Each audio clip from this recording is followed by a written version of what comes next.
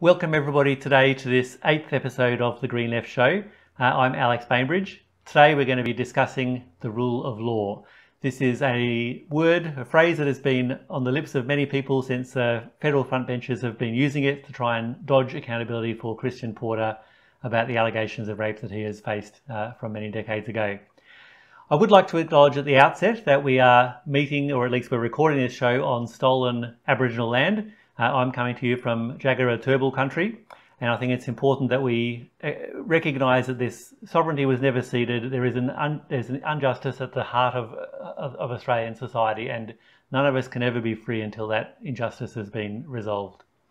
I'd also like to just mention at the beginning that uh, if, if you like the work that we do, the best way you can support Green Left is actually literally to become a supporter. Uh, plans start from $5 a month. The first month is free. There's a link in the description below. It makes a really huge difference if you're able to help us out in that way. And I will also mention that this is the, we're still celebrating the 30th anniversary of Green Left. We have a special anniversary celebration coming up next uh, week, Saturday 27th of March. And again, there's a link in the description if you want, um, if you want to uh, come along and be part of that. We're here today with uh, very distinguished guests. Firstly, I've got Jocelynne Scutt, uh, is a barrister and human rights lawyer, a senior teaching fellow at the University of Buckingham, and she's also a Cambridgeshire councillor. She also has Australian uh, experience in Australia. She was formerly the uh, the Anti-Discrimination Commissioner in Tasmania, among a number of other aspects in her career. I'm also here with Kamala Emanuel, a long-time feminist and Socialist Alliance member. So today we're going to be talking about the rule of law, since this phrase has been used by federal frontbenchers to try and dodge accountability for Christian Porter, the Attorney General who has been accused of, of rape many years ago. Uh, I think a lot of us have this sort of vague concept that the rule of law is a good thing. Um, that's basically what means that none of us can be thrown away and locked up in detention just because the king doesn't like our hair color or, you know, or for any other arbitrary reason. In that sense, the rule of law is a good thing. On the other hand, as I've often said, justice is a lot more important than legality. There are many examples, including uh, slavery, uh, dis disenfranchisement of women, uh, you know, uh, many other aspects, apartheid South Africa. There are many examples of things that are completely legal but absolutely unjust. So just talking about the rule of law is not enough. So I want to just uh, uh, let's let's get into the discussion. I'd like to turn to you first, Jocelynne. Can you please talk to us, tell us, explain to us what is the rule of law and and how how can progressive people think about this issue? Um, well, thank you very much, Alex, and it really is wonderful to be able to speak with you. Um, I'm actually sitting in the land that was the original thieves in terms of the stolen land in Australia. I'm sitting here in Cambridge in England. But as to the rule of law, uh, the principal proponent, one who, a judge who set the rule of law out in really clear terms, was Lord Bingham, a judge here in the United Kingdom. And he set down eight principles. First, that the law must be accessible and so far as possible be intelligible, clear and predictable. Two, questions of legal right and liability should ordinarily be resolved by application of the law and not by the exercise of discretion. Three, the law should apply equally to all, except to the extent that objective differences justify differentiation. Four, the law must afford adequate protection of human rights. Five, means must be provided for resolving uh, civil disputes that are bona fide, which the parties themselves cannot resolve. And six, ministers and public officers at all levels must exercise the powers conferred on them reasonably, in good faith, for the purpose for which the powers were conferred and without exceeding the limits of such powers. Seven, judicial and other adjudicative procedures must be fair and independent. And eight, there must be compliance by the state with its international law obligations. And if we think about situations that can arise in government, and I'm not speaking about any specific case, what we would see is that if matters do arise where, say, a public official is um, accused of having engaged in some activity that might be viewed as criminal or as um, unfitting of somebody in public office, then I think the principles that seem to me um, to apply are that questions of legal right and liability should be resolved by application of the law and not by exercise of discretion. So one would say, I think on that, that a, a, a, prime minister, for example, shouldn't simply exercise discretion and say, I'm not going to um, allow an inquiry to take place the inquiry were proposed, um, the law should apply equally to all. Well, if it's a circumstance where there might be an inquiry into the activity of some public official, then all public officials in similar circumstances should be um, should have the law applied. And there's needs to be adequate protection of human rights. One might say that human rights are not infringed by having uh, holding an inquiry that is one that is open to public view, that is run in accordance with due process and um, those principles of non-biased tribunal, etc. Um, and then judicial and other adjudicative procedures must be fair. Well, as long as an inquiry was run in accordance with fair, fairness and independence, then I think that that should really apply. So it does seem odd to me in some in particular circumstances, speaking in no, no circumstance in particular, but where it was said that the rule of law uh, would be breached by holding a public independent inquiry that was fair. Uh, to say that that's breaching the law, uh, rule of law seems to me to be contradicting the rule of law. Do you want to make any general comments, uh, Jocelynne, about how you think Western governments like Britain and Australia, how closely do they adhere to the rule of law? And I guess I'm thinking about the, um, you know, the the areas where where government processes sometimes fall short? I think, I mean, if, if you look at Australia, um, the issue, say the, the inquiry into banking, it was clear that there were problems with banking. And this has been clear from the 1980s. I mean, I appeared in many cases with clients who had been treated unfairly by banks and other financial providers. And it was really clear there are rules about unconscionability in terms of um, uh, bringing people into financial transactions such as guarantees and, mortgages. And where these are not explained properly to them then of course one can make an argument that the conduct of the bank or the finance provider has been unconscionable. And yet in australia the government was dragged, in colloquial terms, kicking and screaming into that inquiry into the banks, whereas they should have said immediately, this is a matter of public concern. It is a matter where there are many cases going through the courts where the banks are alleged to have acted improperly, unconscionably, and many cases that have gone through the courts where that has been determined by the courts, and therefore it is appropriate to have a public inquiry But as I say, it took a very long time for the federal government of Australia to accede to that. And uh, in this country, in the United Kingdom, there are allegations that contracts in relation to the coronavirus um, personal protective gear, for example, have been let uh, without the proper procedures being followed. And yet there's no inquiry, and there's been a notion that there shouldn't be an inquiry on the part of the government. Well, th those two instances seem to me instances quite clearly where governments are not adhering to the rule of law, where they're in fact ignoring it and ignoring it blatantly until, as I said, in Australia, eventually the government was pushed into having that inquiry. Then, of course, one has the inquiry, the government has the inquiry, and what happens to it? Is anything done with the outcome, with the, with the results? And that also is not consistent with the rule of law to hold an inquiry and then to simply ignore the, the, um, the recommendations So the reason why the Australian Federal Front Bench are so enthusiastic supporters of the rule of law over the last two weeks is that um, they wanted to try and shield Christian Porter from any federal from any sort of inquiry.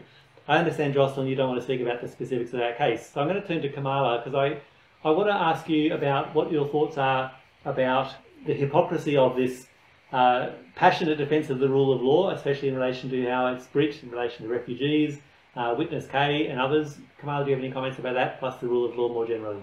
Yeah, I do. Uh, so I, I think hypocrisy is the is really the thing that, that does leap out um, at me it, because there are so many instances where, yeah, it would be really good to have the rule of law. It would be really good to have the Australian government um, subscribe to the rule of law and practice it.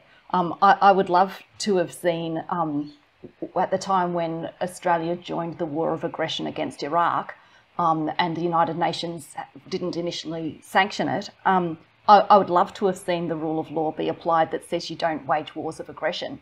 Um, and still to this day, John Howard, everyone in the government who supported that war of aggression, and it continues today, um, none of them have been charged or convicted or you know held to account um, in any significant, meaningful way. Um, then it's also against international law to kill civilians in a theatre of war. Uh, when this has recently been exposed, the best the government could come up with was bleating about China being mean to them in a tweet. And, you know, I know some of these things are now going to go to court, and, and hopefully there will be um, there will be some prosecutions. But the idea that it's only going to be prosecutions of the people down the lowest uh, rungs of um, rank in, in the military rather than those who ordered them, um, those who turned a blind eye or encouraged acts potentially. I mean, I, I don't know who's at the top of all this, but, you know, are they going to face justice? Um, and when you wage a war of aggression, that in itself, as I said, is um, is its own crime. So, so it's no surprise when um, other war crimes follow. Um, then it's against international law um, and Australian law to, to have there be, you know, um, arbitrary detention and torture. Um, Australia's great friend, uh, the United States, carries out, according to their own accounts, torture at Guantanamo naval base. Uh, and when has Australia ever criticised that, or, or, when has it called into question Australia's um, military partnership with with this perpetrator of, of abuse. And there's other many other um, regimes around the world that Australia is happy to ignore their breaches of the rule of law. But even just on, on the question of arrest and torture, uh, arbitrary detention and torture in Australia, well, what about Australia's black sites of, of refugee detention that are offshore so they can be hidden from scrutiny and uh, yeah, it's deliberately set up. I think it's totally clear it's deliberately set up so that they're not exactly Australia's responsibility, not exactly the responsibility of the country where they're hosted, and there's this kind of not really plausible but notionally plausible denial of responsibility uh, when violations of human rights, starting with arbitrary detention but following through to as far as denial of medical care, death, and just the just the torture of the mental torture of and torment of not knowing when you're ever going to be free. Um, the um, the refugee convention um, insists that the mode of travel to um, to a country seeking uh, asylum is uh, no crime. It's not uh, can't be used to prevent the recognition and protection of refugees. But you know we breach that every single day, and we've been breaching that every single day for um, too many decades. Uh, so, I mean, they're just some of the things that just leap to mind for, you know, jotting down a few points um, just briefly. And I think the one that really leaps out is that there's a thing about in the law prohibiting rape. Uh, but the figures on the prevalence of rape and sexual assault, and conversely on the successful prosecution of uh, perpetrators who have committed rape or, or other forms of assault and harassment, they show that we're about as far from the rule of law as you can imagine. And so I think it's a really big kick in the guts to women in Australia to hold up the rule of law uh, spuriously um, on the one hand, and so patently, blatantly fail to uphold the, the rule of law that affects so many of us. Um, other one other little thing that I wanted to to comment on, um, just about the specific situation that we've been experiencing in the last couple of weeks since Christian Porter's uh, media conference, um, was how it's it is pretty laughable to suppose that the rule of law would be breached by his just stepping aside. I mean that's that's completely laughable, and a lot of people have debunked it in in various ways. And the fact that the front benches and probably backbenchers, I don't really know, but certainly front benches could all come out time after time, even after it had been debunked, repeating this as though they'd never heard anyone say, oh, but wait, what do you mean the rule of law would be under threat? And they just keep on time after time using this expression. And I think the question of political accountability gets raised by that. Well, if the media can't hold them to account, many people have definitely tried, what sort of accountability have we got? Did you have any comments you wanted to make about that, Jocelynne?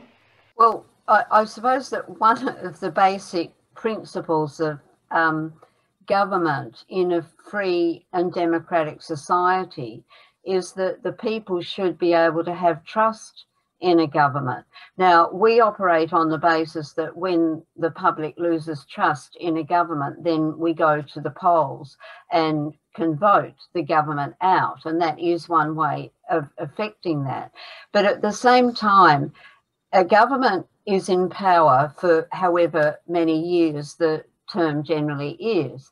And they have to take their responsibilities seriously and not simply say, well, we can run things as we want to and then um, put uh, put ourselves put ourselves to the to the vote and therefore we're complying with the principles of a free and democratic society. But I'm afraid it actually really doesn't work that way. The government should uh, be able to hold the confidence of the people throughout its term, and that is hold the confidence of all the people. Um, and I'm not meaning in, in party political terms, I'm talking about in general terms, as Kam Kamala has, has expressed, that uh, if a government isn't acting in a way that people can have confidence in their conduct, then they really should bring themselves to account and consider what it is that they're doing and how they might change their, their conduct. And there are so many instances, I think, in the government in Australia, in the government in this country, the United Kingdom,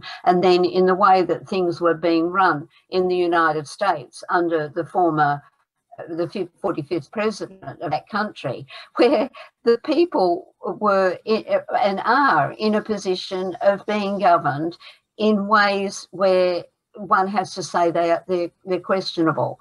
And I think that uh, governments do need to take their responsibilities seriously. I mean, for example, the march of women around Australia, there were thousands and thousands of women marching. Now, when women march, they're not marching for nothing. They're marching on an issue that they take seriously and that all men should take seriously and that governments should take seriously. And when I say governments, I mean all the governments around Australia, the state governments and the federal government. But what does the prime, the deputy prime minister says, I'm too busy, can't come out and talk with you. And the prime minister says, well, you'll have to come in and talk with me. And the women were perfectly right in saying, you, the prime minister, have a responsibility to us, the women of Australia, and you, the Prime Minister, should be out here on the steps talk, speaking with us. But no, the man's cowering away in his office, absolutely frightened out of his wits, too scared to come out and face his responsibility in actually addressing women, the women of Australia who were there in front of Parliament House, and the women who were watching or marching in agreement all around Australia. and the man presents himself as if, um, well, you know, he has to actually find out from his wife that rape is an appalling is appalling conduct and rape is something that is really um, a, a, blight on our community. But no, he doesn't actually know that. He has to find out from his wife. It's ridiculous and it's appalling that Australia should have a prime minister who actually does not know until his wife tells him how shocking and how destructive and how denying of a human right to exist in the world as a human being who is not um, whose whose uh, psychic energy and whose physical um, person it can maintain itself without being infringed. It's, uh, uh it's astounding to me, absolutely astonishing. But then we're living in the 2021, and I suppose that that's our Prime Minister.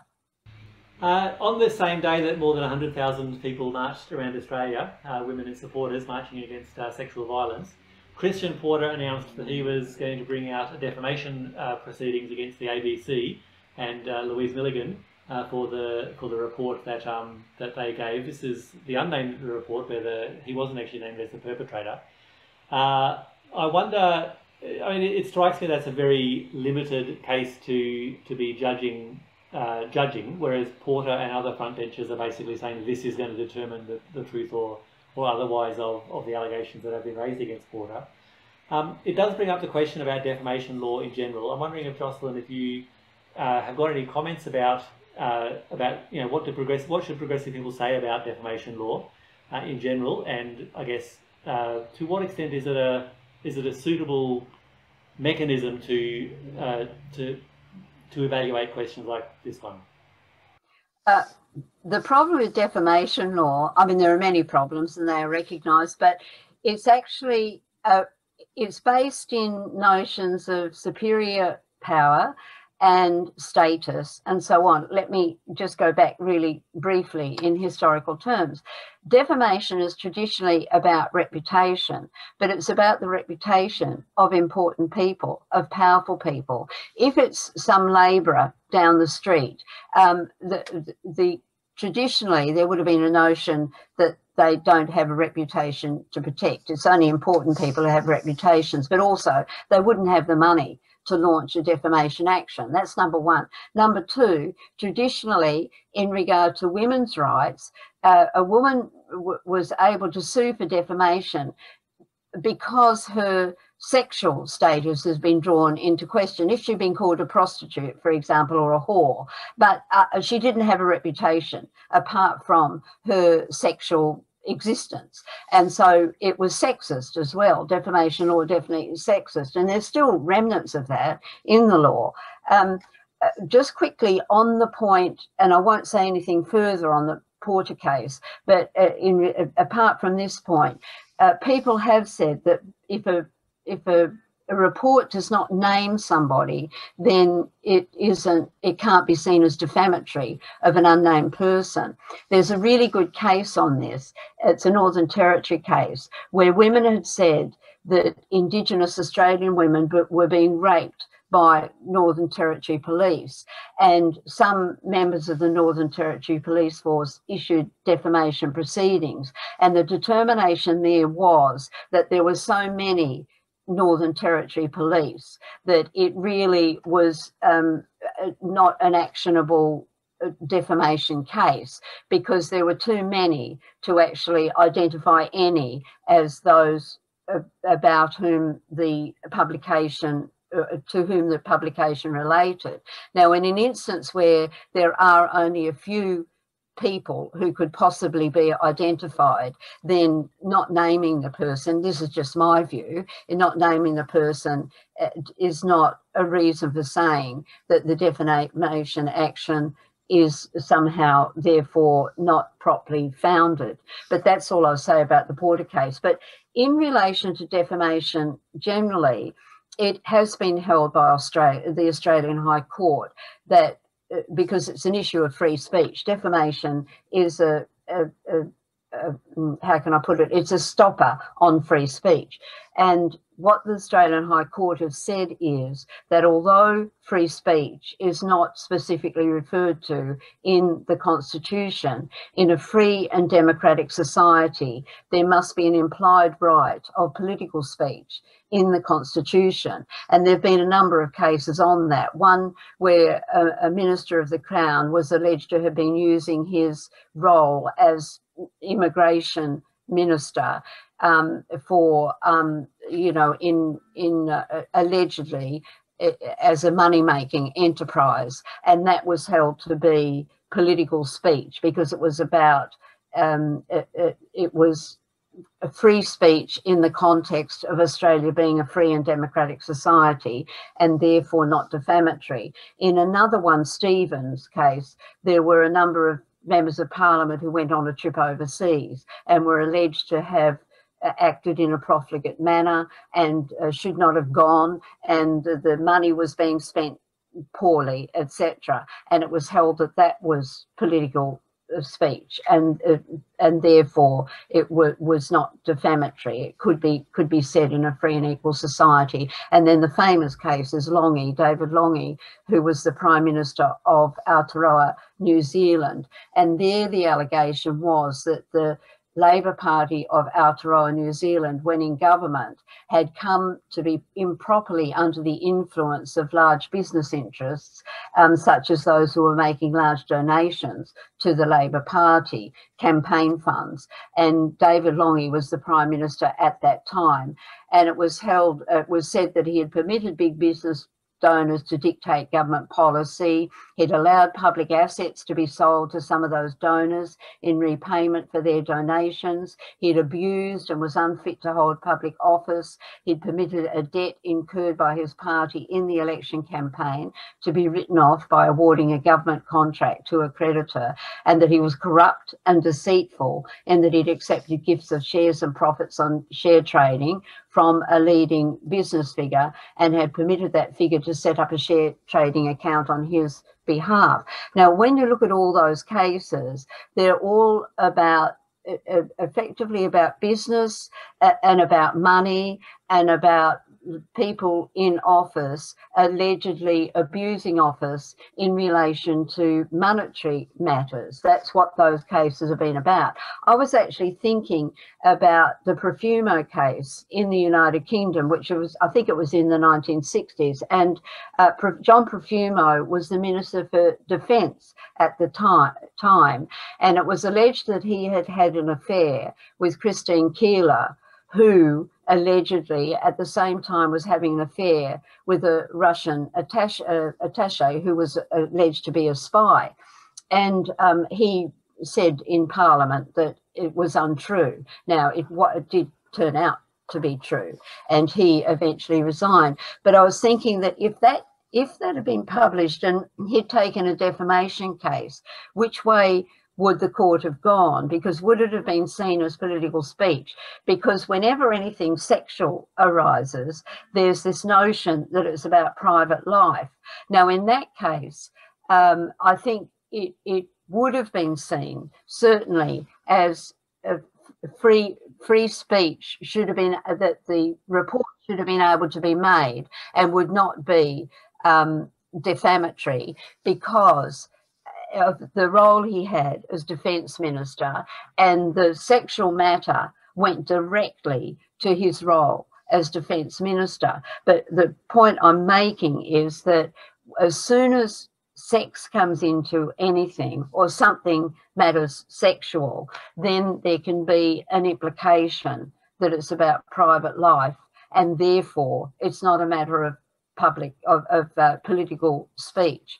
Uh, and um, I think I think it's an interesting question. And in saying this, I'm not saying anything about current matters before the court because, of course, one's precluded from doing that. I'm referring specifically in this instance to the John Profumo matter because my mind went to that one to think how would that have been dealt with in defamation terms. This week we've seen a New South Wales police representative uh, make the ridiculous claim that there could be a consent app and I mean, there are many reasons why I think that's a silly suggestion, but I think one thing, one thing about it is that it, there is no way you could imagine this would be used other than as a defence for the perpetrator.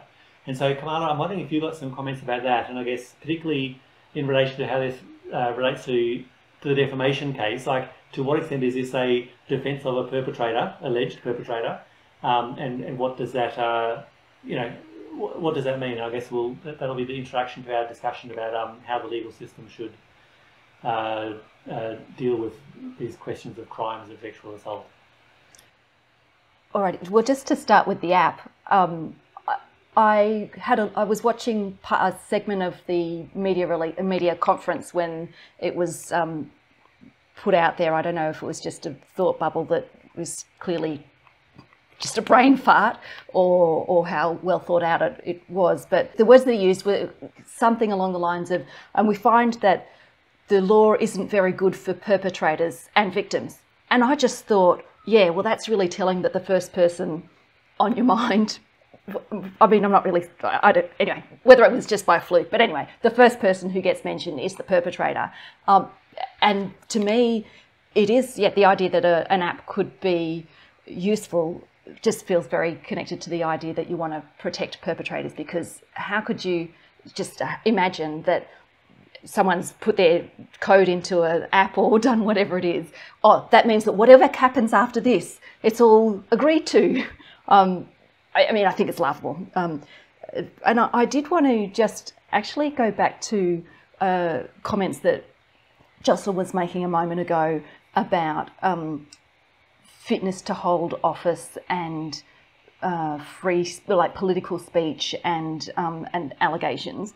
The Attorney General, let's just say in general terms, the, the, the Attorney well, just very recently, there was law put in place about family law. So the family law as a freestanding, um, you know, the freestanding, sorry, the freestanding family court was um, has just been abolished, and this is something that was pushed forward by the Attorney General.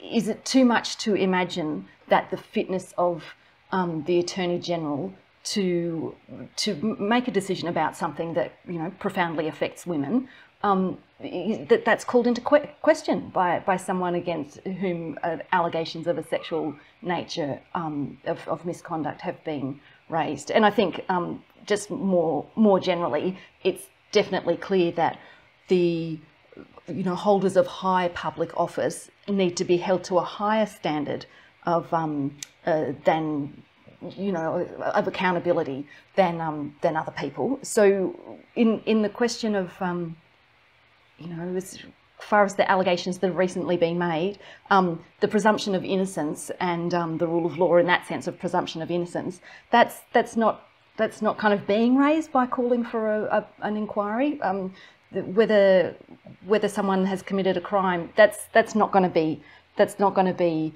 uh, it's not going to be interrogated. I mean, it's the, the possibility for that has has gone, and and so uh, so that's that's not the question. But is um, is this person fit to hold public office? And I'd just say that I, that um, I, I, can't see how a um, a defamation case is what's going to is what's going to establish whether or not a person has got the confidence of the community to hold their office. I think they're different questions. Um, uh, and I do definitely think that the um, the you know defamation like throwing out a, a defamation case, you know, at least potentially has uh, negative implications for for the willingness of um, commentators to, to discuss these matters. And, and I think, I mean, I, I t- definitely noticed as someone like I went to the Meanjin Brisbane uh, rally on Monday, and one of the very, very popular chants was actually that Christian Porter has to go. And it comes to the political question of is this person, is this someone who you know, is seen to be above reproach, um, whether or not he's above reproach. he's got to be seen to be above reproach, um, has got to be seen as someone who we can have confidence in, you know, understands the seriousness of, of, um, of these questions. And so it's, it's, the confidence of the community that is, um, that is at question. Um, and, and I noticed that uh, that in the reporting that I saw that night and the next couple of days, um, the call for Christian Porter's um, resignation or to be stood down, it didn't feature in the reporting on the rallies, even though it was a huge feature of the rally that I attended. I want to turn to you, Jocelynne, and I guess discussing the question of uh, rape and sexual assault and how the legal system deals with that. To me, I think, I mean, and I guess I'm especially asking your your opinion in general as a feminist lawyer, it seems to me very apparent that the legal system is not very good at dealing with these questions. When you look at the figures of the estimates of the number of assaults that take place, um, the number reported is very small, the proportion that are prosecuted is smaller again, the proportion where the prosecutions are successful is also, you know, is, is even smaller again. Uh, so it feels to me, it doesn't feel controversial to say that the current legal setup is not adequate for protecting the rights of, of women or victims who are, you know, victims of these sort of crimes. So I'm wondering, Jocelynne, if you've got any comments about um, how the legal system currently does deal with these questions of rape and sexual assault and, and what improvements could be made to, to make that better. Um, well, women have been concerned about this issue for centuries. There's no question. It's not a new thing. And at the end of the 19th century, women were concerned about rape in marriage, for example. And um, so and we come forward into the 1970s and 80s when the women's movement was absolutely hot on this issue. And i together with two colleagues drew up the well draft bill on sexual and uh, on rape and other sexual offences and that became a, a how can I put it, a, a, basis for changes to the law in New South Wales that was considered in the Northern Territory, all around Australia had impact in Aotearoa, New Zealand, in the United Kingdom, in Canada and Fiji and so on. But we're still in the same position of the issues that are being raised now are the issues that were raised back in the 19th century. One point that's not commented on sufficiently, I think, is this the, the time frame that it takes for rape cases to go through. There have been efforts to have speedy trials when rape um, is the is the crime that's uh, being prosecuted. But I was just reading Chanel Miller's book, Know My Name. She's the woman who was raped by the guy at Stanford who got six months or some ludicrous sentence because he was a a Olympic style swimmer. And uh, it's really, it's such a good book to read because amongst other things, she goes into the huge delay. Her sister had to be a witness. Her sister was at university doing exams. The case would be coming on, and her exams were just in train. And then, no, the case was adjourned, and so on. So we have to pay attention to that too, because that is really debilitating if somebody's going through the court process. And of course, I'm a, a barrister and I know all this, and yet reading this book brought it home so solidly to me in terms of that ludicrous proposition about the app. I mean, of course, I agree with Kamala. It's it's it's it's, it's foolish because um, the cases now do hold that consent can be withheld even when the, uh, uh, you know, in the case of penetration, which is the way that rape is defined, that even if the penis is penetrating the vagina, the woman can then withdraw her consent, and the withdrawal of her consent can be considered as a, a valid lack of consent, and therefore the man could be convicted of, of, of rape. So yes, at what point are you going to actually exercise your right to to um, imprint your consent on this app? Um, I think the police uh, commissioner did admit that it was something that could be considered to be foolish. I think we need to relook at this whole area yet again. But one of the problems is the judges and it's the barristers, and they really have to take responsibility for their conduct. The prosecutors who do not pick up on issues that uh, on the conduct of the other side and do not object.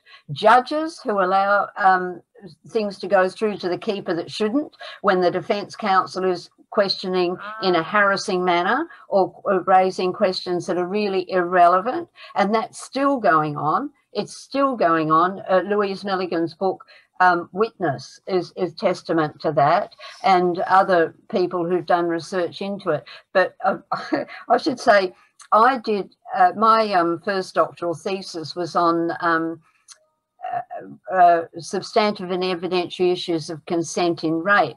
And what I'm doing now is I'm revisiting that thesis, which was written in uh, the 70s. I got my doctorate in 78, 79, and in on that topic, that doctorate. And I think that it's time to revisit this. But in revisiting it, one does need to go back to the history because the history infuses the present. And this is the problem that we change the law we say we're reforming it. But the problem is that the judges who are putting that law into effect and the defense counsel and the prosecutors who are putting that law into effect did not learn that law. When they were at law school, there was another law before that reform. And so the problem is that the old law comes back through the back door of the new law because you've got people putting the law into effect who have not been trained in what the new law is about. And they're coming with their brains that were in operation at law school and they're uh, now applying that brain to a new law. And unfortunately, too often they revert to type in terms of what their old training was. And I think that's a very real problem here. That's why in the draft bill on rape and other sexual offences that Kerry Hubell, Di Graham and I did for the Women's Electoral Lobby, um, that's why that bill said bringing in a new law requires to have as a part of that law a, a a compulsory obligation on anyone who is in practicing in that field and any judge who is uh, operating in that field to undergo a retraining process. What we have to do is wrench their brains about so that they can come into the 21st century and actually realize what the realities of rape are. And the final point I'll make about this anybody who starts talking about false complaints should can start talking about false complaints of robbery, false complaints of theft, false complaints of um, assault, and so on, because the statistics on false complaints are about 6% at maximum, and it's across the board. It's not just in relation to sexual offences. Of course, there are some false complaints there, but that there are no more false complaints there than men making false complaints that they were robbed on the way home and that's why they don't have any money to their wife, you know, for the groceries and so on, because they've spent the money at the pub or they've spent the money on the horses and they're telling great big whoppers. And men are just as likely to be making false complaints about this, that, and the other thing as women might be. And the numbers are minimal, both for women and men, in terms of false complaints in the criminal justice system. I think the legal system is very good at you know pro- making professions about guilt or innocence and then finding people or locking people up. But I guess we're living at a time when the uh, the decarceration movement is uh, is getting stronger. There's a big movement in the United States for defund the police, abolish the police. Do you have any comments you want to make in relation to rape and sexual assault, and in particular restorative justice and these questions in relation to rape and sexual assault? I think I think the police question is problematic because when they talk about defund the police, I don't think they are saying abolish police forces. Oh, well, wait, they're saying abolish police forces, but retain police service. Now, John Avery, who was the police commissioner in New South Wales some decades ago, had this approach that we're a service not a force. And he ran the service in that way. And I think we have to reorientate police services. The scenes on Clapham Common were shocking. And I cannot believe that a police force was so absolutely even lacking in PR that when women are demonstrating peacefully about the fact that a woman had been allegedly murdered and the alleged perpetrator, the man who was being held in prison, was a police officer. So you've got police officers coming out and visibly, in my opinion at least, assaulting women who were simply saying, We have a right to walk on the streets at night, at day, at any time, and not to be subjected to assault. And here are the police in my view, that I looked at it and it seemed apparent to me that there were assaults going on, and it wasn't the women assaulting the police; it was the opposite way around.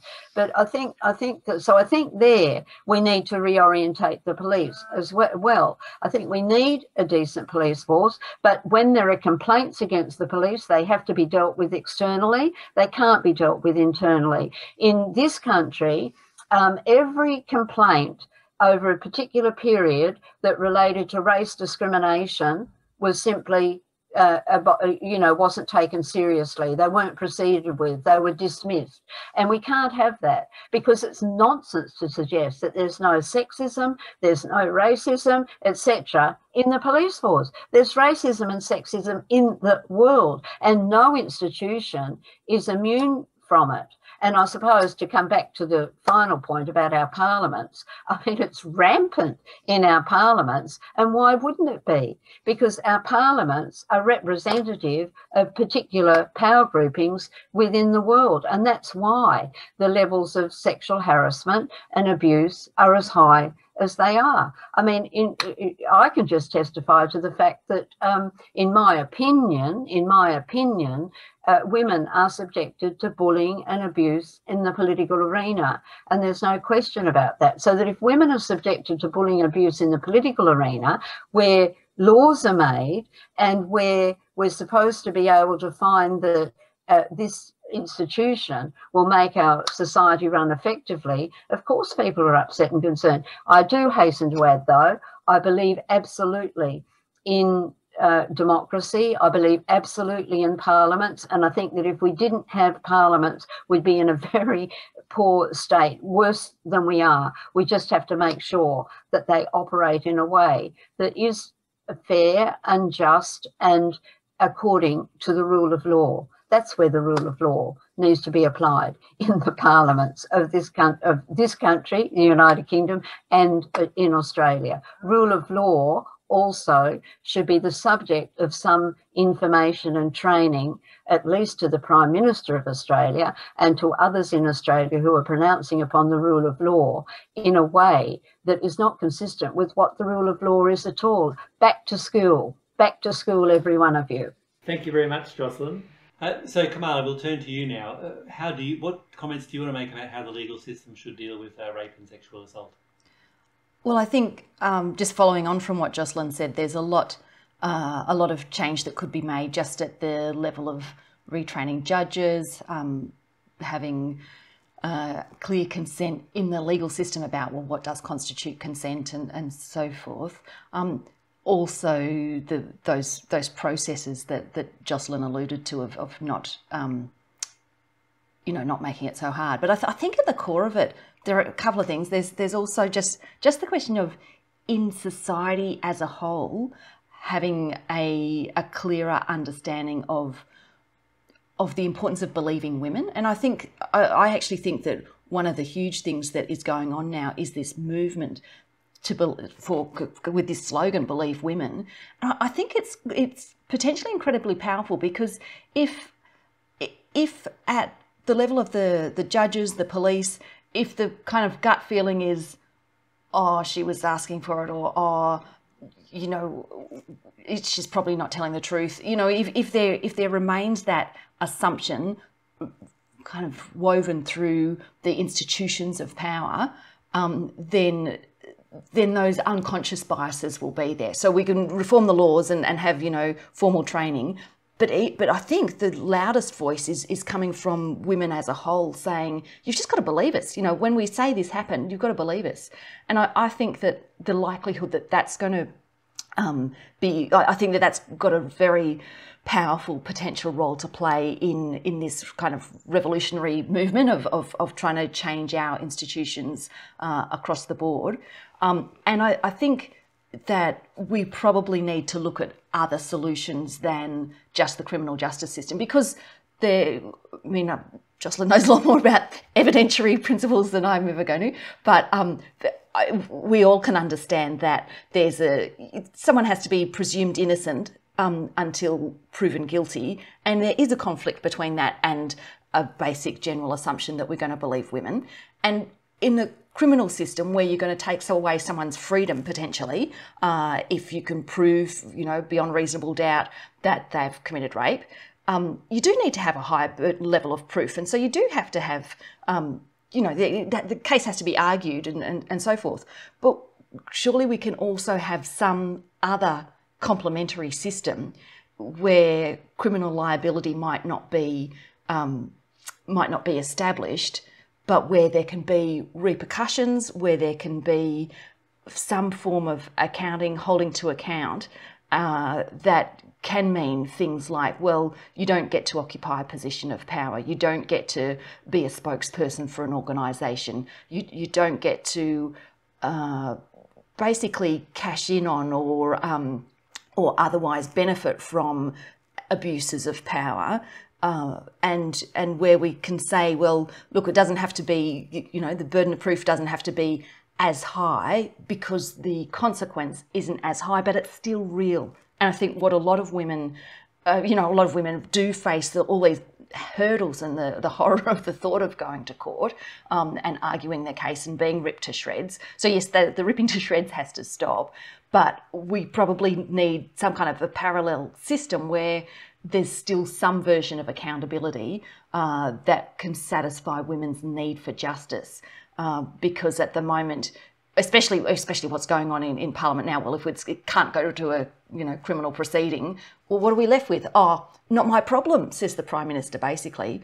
Uh, and uh, so so I think there need to be these these um, parallel mechanisms, and I'm thinking also of the kind of parallel mechanisms that um, are being experimented with and established actually in in the Kurdish-led revolution in northern Syria, which I think can teach us more, and I'll happily talk about that in a sec if you if you um, want to go down that path. Well, I think actually it would be good to talk about the, the question of restorative justice and the current demands, defund the police, etc. Uh, and I guess in particular, the criminal justice system is very much focused on finding a punishment or whatever after a crime has been committed. Surely, one thing we also need to talk about is how do we actually prevent these crimes from happening in the first place?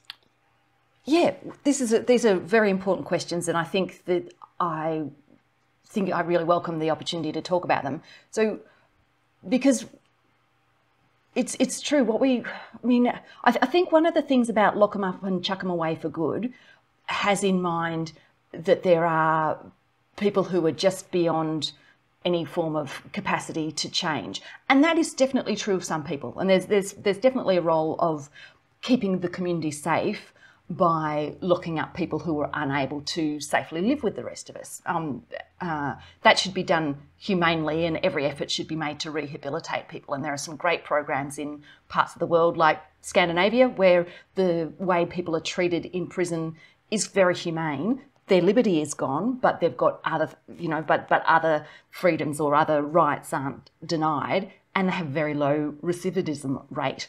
So so there's just treat people humanely in jail, but be, beyond that, trying to find a way forward. And in the Kurdish system, which I'll describe in a sec, but in the Kurdish system, they talk about uh, as a as a general thing, they talk about people who have been harmed and people who have harmed. So they don't use this kind of language of criminalisation as if it's something essential about people, but they leave open the possibility that people can be restored to safely and and um, conscientiously occupying a place in a society. So it doesn't just damn everyone who has ever done something that's harmed another person, but actually tries to find a path that the person who has been harmed can um, not just live with, but can uh, can be vindicated, can be um, restored themselves to their sense of safety and their, their sense of well-being and protection by the community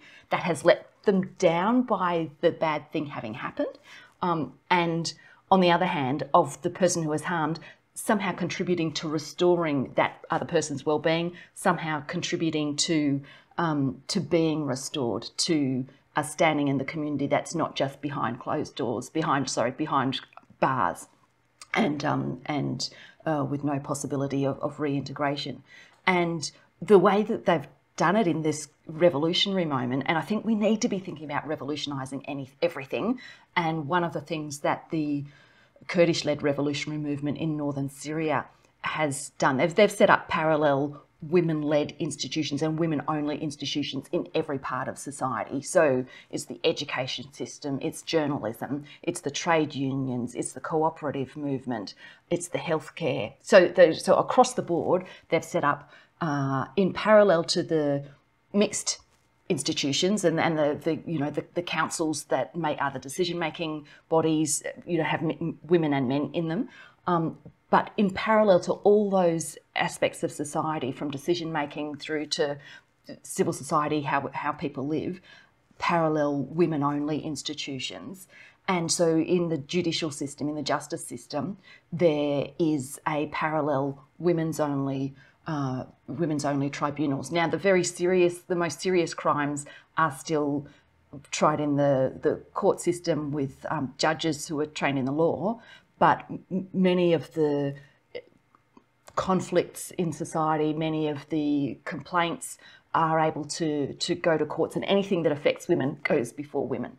And I think that that has a huge potential to institutionalize the idea that we believe women, uh, as well as to to bring what yeah to, to bring a restoration uh, and in a society where rape culture is still prevalent even though we're having this wonderful moment uh, where where rape culture is still prevalent where failing to uh, failing to believe women is still prevalent uh, institutionalizing women's led and women's only uh, you know organizations I think is at least something that we need to examine. I'm, I'm not saying that we're going to, we, we have to do it, but I think we need to look at it and see what can we get out of it, you know, for an Australian context. Um, certainly, trying to devolve things to local community participation is a critical part of it because it's, I mean, our feminism has to break down all the barriers, all the glass ceilings. It, it has to establish uh, a new way of looking at women, a new way of our relating to each other. But I think as part of what it's got to do, it's it's got to also deconstruct these quite alien and alienating institutions that aren't good for men either, actually. Like the majority of men who go to court, the majority of working class men, the majority of Indigenous people, the majority of people of colour, the majority of women, the majority of us who go to a court find it quite an alienating freaky, scary kind of experience. What if we did have local, more devolved community control with principles that we adhere to? And it'd have to be definitely in the context of a society that's on the move uh, in all sorts of areas, uh, that, that's moving towards trying to find justice across the board, including and importantly, justice for women.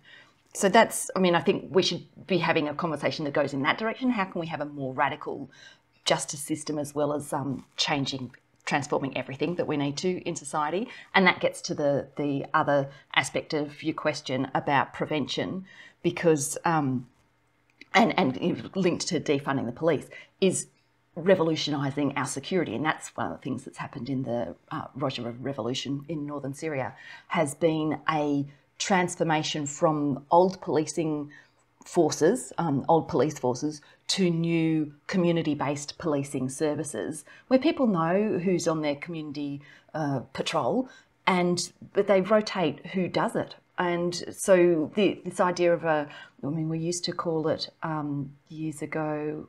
I'll get to it. Community self-policing, and I, and I think they're they're experimenting with that in this revolutionary moment in Rojava. Um, and so yeah, defunding the old police service that is racist, it's sexist, um, it's it's permeated with, um, and it's, it definitely, you know, plays a role in, in oppressive class relations as well. Like there's all these things that are wrong with the, the way our existing police forces are, you know, are basically support the status quo, support the, the uh, positions of power, um, whether it's um, racial or, or gendered or, or class based. And so, yeah, let's have something that um, actually moves to uh, a new form of policing where the community is involved. Um, and then the, the further step is just not waiting till bad things happen, but proactively, uh, proactively working on respect in every area of our lives. And we do have to revolutionise every institution. And I think the fact that at the same time that the Parliament has been dealing with allegations of rape and sexual harassment, uh, at the same time, also coming forward have been the revelations about the way young women are assaulted and harassed in schools. And this is an echo of the the young women who came forward in the universities uh, so, several years ago to, to point to the culture of toxic, toxic masculinity on university campuses and, and even just in the last week uh, just the New South Wales Rural Fire Service. So it's, I mean, I think we over the coming weeks, I hope that more and more women see that this is our moment and stand up and uh, speak up about uh, other institutions. Oh, I'm a doctor and I forgot to mention the medicine as an institution. Like there are just so many uh, of these institutions. So, um, so we need to uh, like put the microscope, um, put under the microscope all the institutions, and uh, in our education across the um, mass media, uh, across everything, be starting to put forward images and have conversations about what it means to respect women, including in that, of course, what consent really looks like, and uh, and just trying to you know build um, build those individual forms of responsibility as well as the structural change that needs to happen.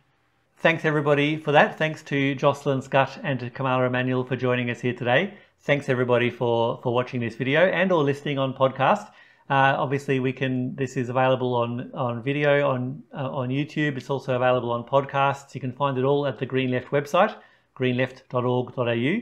But if you're getting this podcast on Apple Podcasts or whatever else, we'd love to get a review or comment, thumbs up on you on the video or, or wherever you're seeing this video, wherever you're seeing this uh, this show. Please give it a thumbs up. And if you're in a position to become a Green Left supporter, as I said, the link's in the description. We'd love to, we'd love to have your support. Thanks everybody for joining us.